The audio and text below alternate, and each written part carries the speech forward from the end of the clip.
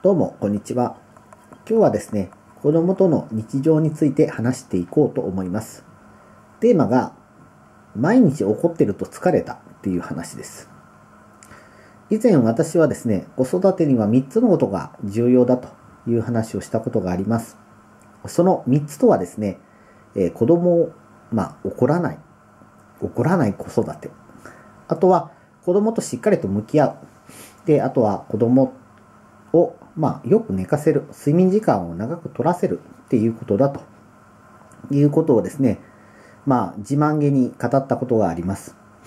まあ、言うならばですね、えっへんと口ひげを撫でつけるぐらい分かった風に、そういう風に書いていました。でもそれはですね、分かったつもりであるということが、まあ、痛感させられました。まあ、子供を怒らずに育てるというか、子供を怒らずに生活を一緒にするなんていうのはですね、もう無理無理無理無理カタツムリです。と普段は使わないような言葉を言ってしまうぐらい子供を怒らずに育てて育てていくっていうことはですね、難易度が高く今は感じています。確かに子供を怒ってもですね、メリットっていうのはないわけですね。むしろデメリットばっかりです。まあ、具体的にどういうデメリットがあるかっていうとですね、えー、怒ってばっかりいると親の顔色を見る子供になるとかですね、えー、怒られると子供の IQ が下がるとかですね、えー、最近ありがちらしいんですけど近所から幼児虐待をしていると見られる。たまには通報されてしまう。たまには子供が、えー、保護されるなんていうことがあるっていうのを聞いたことがあります。など悪い効果はたくさんです。でも、分かってても止まらないことがあるわけです。朝晩、朝晩、たまに夜中、週末は朝昼晩っていう感じで、もう接している時間はずっと怒ってるっていう感じがしてしまいます。特に、えー、夜ですね、子供が早く寝てくれないと、本当に困ってしまいます。っていうのが、夜早く寝てくれないっていうことはですね、いつも通り起こしても寝不足ですので機嫌が悪いわけです。で、それで、まあ、また幼稚園をの時間を守れるように準備をしろっていうと、えー、子供もぐずるっていうことでぐるぐるぐるぐる回るわけですね。まあ、その上ですね、自分も言っているですね、子供にしっかりとした睡眠時間を設けるっていう子育ての三原則のうちの2つも守れないことになってしまいます。で、ただ、じゃあ子供を無理やり寝かせようとしても子供も嫌がって言うことを聞かないっていうことになると、えー、親の威厳が保てないとかですね、俺のプライドが保てないなんていう余計な感情スイッチがオンになって子供を怒ってしまうわけですね。昔はちょっと怖い顔してちょっと注意したぐらいで布団に入ってくれたんですけども今は怒ったところで言うことは聞きません。それでさらに怒ってしまうと子供は泣き出してしまうので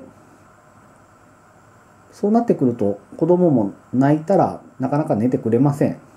ということでさらに夜眠るのが遅くなってしまいます。で朝早く起きられなくなって私が朝から怒るっていう循環になっているわけです。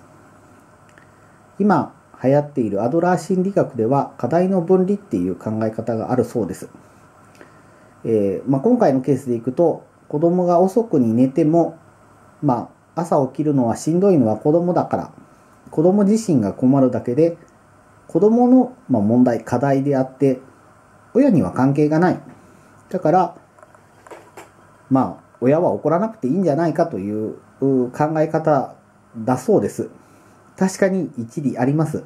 いいことを教えてはくれるんですけれども、でも早く寝てほしくて、早く寝てねって言っている目の前で、子供が I have a pain なんていうことをやっていようものならですね、怒らない子育て、怒らない、怒らない、俺は意識高い系なんだっていうことをですね、心の中で唱えていても、やっぱりムクムクと感情が湧き立ってくるんですね。でも今日からはちょっと違いました。怒らずに済みました。もちろん子供が心を入れ替えてくれたりとか、素直に何でも従ってくれるというわけではありません。えー、まあぶっちゃけて言うと私が怒るのに疲れたということです。もう目の前でですね、下火になってきた PPAP をされてももうどうでもよくなりました。怒るのも力を使いますので、力を使ってまで怒る必要があるんかなって思える心境になってきました。でも、寝る時間も朝の時間も守れるようにしたいですし、私はどっちかというと、時間をしっかり守りたいタイプなので、えー、これからは1日1分ずつでも早く寝かせつけを開始するということをすれば、いずれは、まあ、目標としている時間に寝れ、目標としている時間に起きれるようになるんじゃないかなというふうに思っています。まあ、それまでは怒らなくてもいいかなと思えるように今はなっています。で、今日何を伝えたかったかっていうとですね、まあ、怒らない子育てっていうのはやっぱり目標として持った方がいいと今でも思っています。でも子供を、まあ、それでも怒ってしまったと。で、そういう経験もして、起こったことを自分で後悔したりとかして、まあ徐々に起こらないことができるようになったらいいなっていうふうに思ったということを話したかったのです。ただ私も、じゃあ今日の心境のまま明日も明後日も、えー、1週間後も1ヶ月後もできるかっていうと、怒らずに育児ができる自信は今のところまだ全然ありません。なので、まだまだ精進が足りないようなのですけれども、なるべくやっぱり怒らない方がいいと思いますし、夜は長く寝てくれた方がいいと思いますので、それをなるべくやっていきたいなと思っております。今日も最後までご覧になっていただきまして、本当にありがとうございました。それでは失礼します。さようなら。